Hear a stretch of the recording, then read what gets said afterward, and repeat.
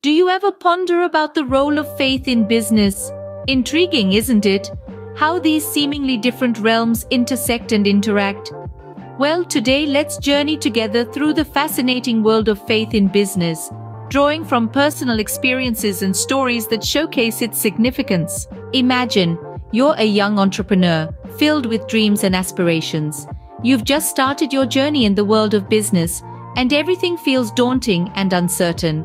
It was in such a moment that I stumbled upon the power of faith.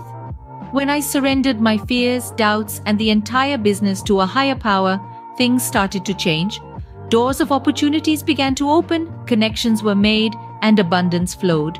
This is not just my story. There are countless others who have experienced the transformative power of faith in business.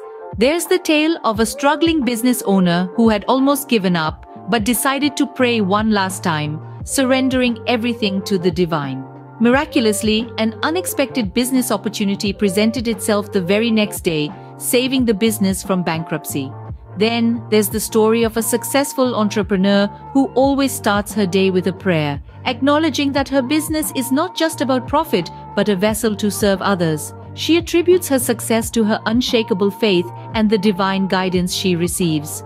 I am not saying that faith is a magic wand that instantly solves all problems. No, it's more than that. It's about acknowledging that there's a higher power at work, guiding us, providing us with wisdom, opening doors of opportunities, and filling us with the courage to take leaps of faith. It's about surrendering our fears, doubts, and even our businesses to the divine and trusting in the abundance that awaits us. And so, the question is not whether faith has a place in business. The question is, are we ready to invite faith into our business practices? Are we ready to surrender our fears and doubts and trust in the divine guidance and abundance? In the end, faith in business is not just about financial success.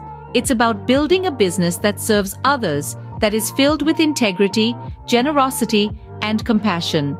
It's about creating a business that is not just a source of income, but a vessel of divine love and grace. Now it's your turn. Invite faith into your business. Surrender your doubts and fears and trust in the divine abundance.